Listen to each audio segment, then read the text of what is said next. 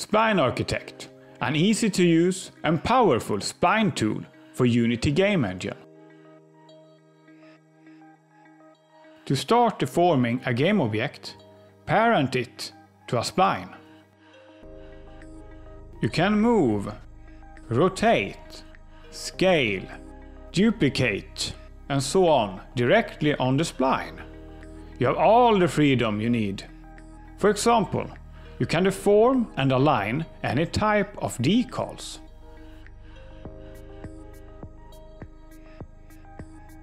Spline Architect will deform any mesh used for rendering or collision. If you don't want to deform the mesh, just change the type to follower. Effects can be applied to deformations. Press any control point on the spline and use the slider to change the value.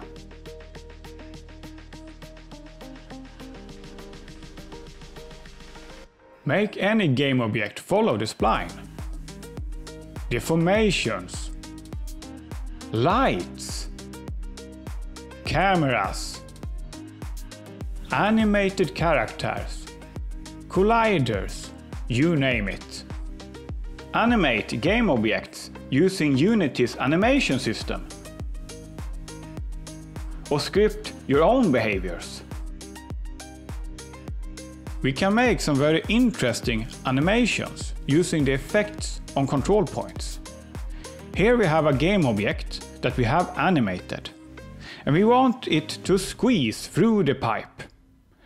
Press the control point before and after the pipe and change the scale value.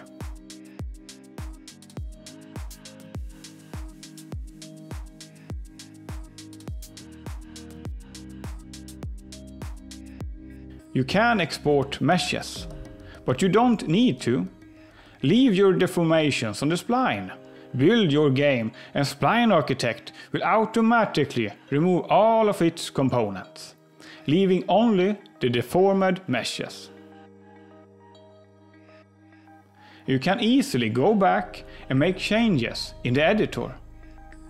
If you need the spline in your built game for animations or other things, change the component option to active.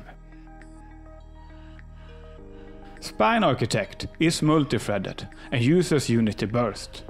This allows you to move splines and deform objects on low-end mobile devices.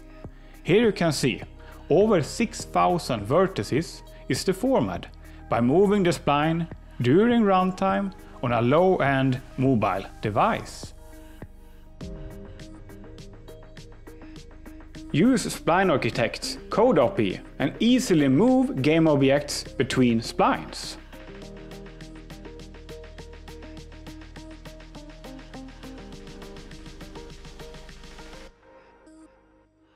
Snap control points to the grid. Create perfectly aligned 90, 180 degree deformations, loops, and so on. Apply noise to deformations. Create several noise layers that can be used together.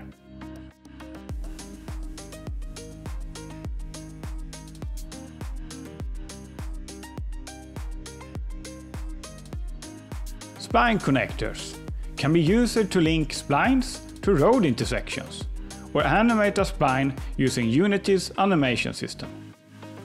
Let's connect some roads to an intersection.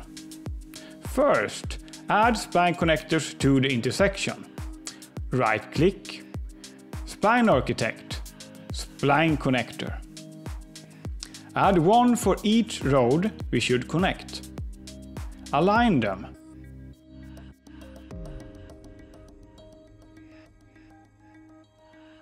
Now connect the roads by pressing the link button.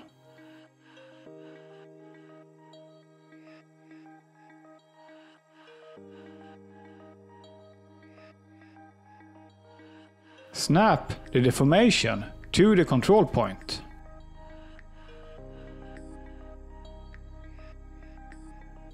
And just like that, you have a perfectly aligned road intersection that can be moved freely. You can create new splines by using Spline Architect's Code API in your built game.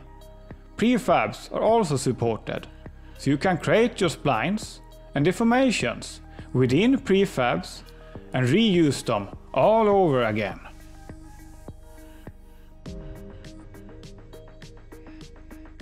Spline Architect. Available now in the Unity Asset Store.